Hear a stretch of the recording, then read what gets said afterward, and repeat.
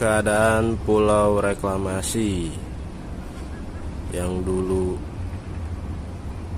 di demo. Keadaannya seperti ini sekarang. Sudah mulai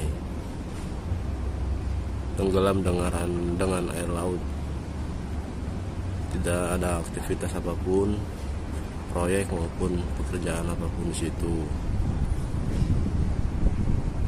ya bisa dilihat sendiri. Sekali lagi ini adalah reklamasi yang dulunya mau dijadikan pulau reklamasi di daerah Peluit.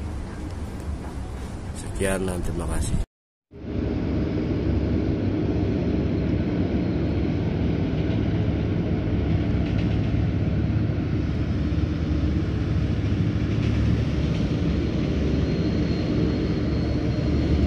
Keinginan pemerintah memaksakan kelanjutan ibu kota negara (IKN) Nusantara cukup mengherankan.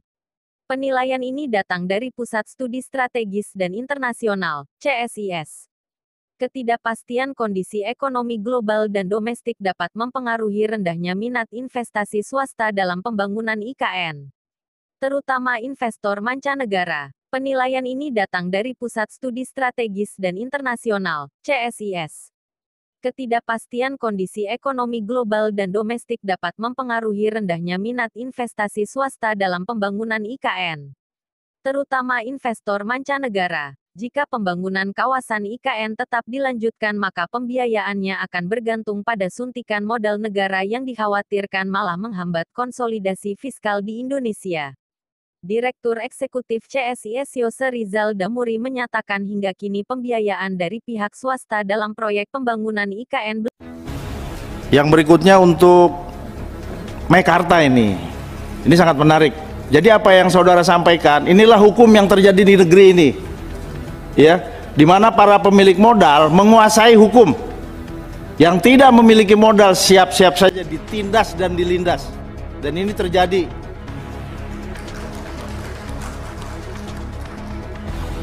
Mungkin kalau saya waktu itu tergoda, saya ikut juga dan saya akan menjadi bagian dari orang yang korban. Karena marketingnya memang masif. Ya. Masif itu, Pak, ini bagus begini. Ternyata sekarang tidak dibangun. Iya, bayangkan coba.